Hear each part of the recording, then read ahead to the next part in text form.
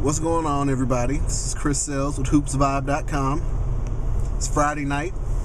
I'm leaving Austin, Texas, driving up to Dallas. I don't need to deal with all the ice and the plane issues. I'm just gonna drive. Seems like it's easier to me. Plus, I'm broke, so it works out.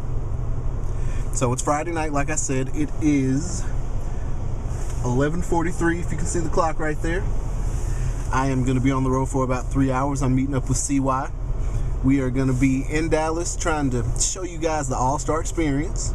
We'll have some videos posted on the website. We'll have some stories telling you exactly what it is we're doing while we're there. So stay tuned to the website.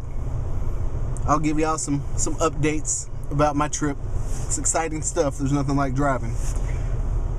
Stay tuned. Hope you enjoy it.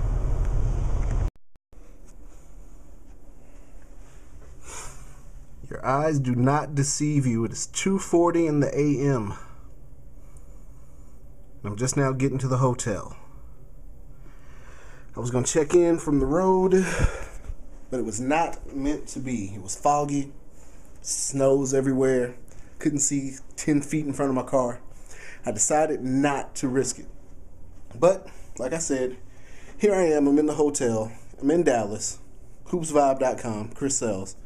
You met me earlier. You probably couldn't see me though. I'm trying. I'm trying to work this out. I'm trying to see how far away from the camera I need to be in order for you to actually see me. I'm working on it. Bear with me. By the end of the weekend, I'll have it down pat.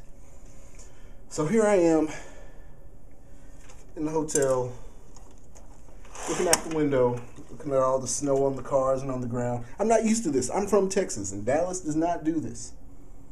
We're not used to snow. We're acting crazy, I'm sure. But what I'm about to do, I'm about to get some shut eye, go to sleep. It's late. Get up early in the morning, and then we'll explore the town and see what's going on. Signing off for the night, Chris Sells.